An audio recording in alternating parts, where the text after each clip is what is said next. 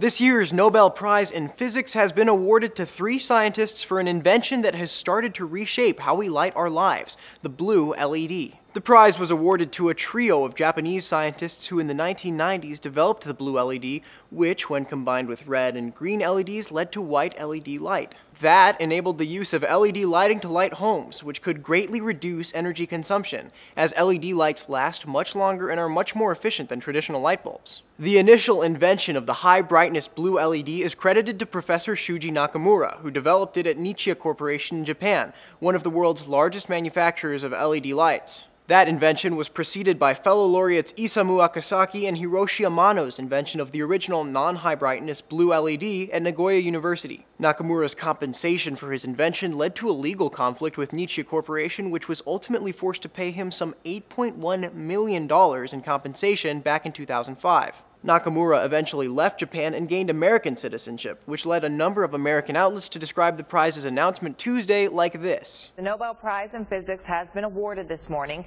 It's gone to two Japanese and one American scientist. An American scientist is among the recipients of this year's Nobel Prize in Physics. While we're not disputing the fact that Nakamura is an American citizen, outlets seemed pretty eager to claim him as such, neglecting the fact that Nakamura has spent almost all his life in Japan, where he created his award-winning invention. Anyway, if you need proof of the wide reach of Nakamura's invention and you have a smartphone, the light it uses as a flash for your pictures or as a flashlight comes from that combination of red, blue, and green light.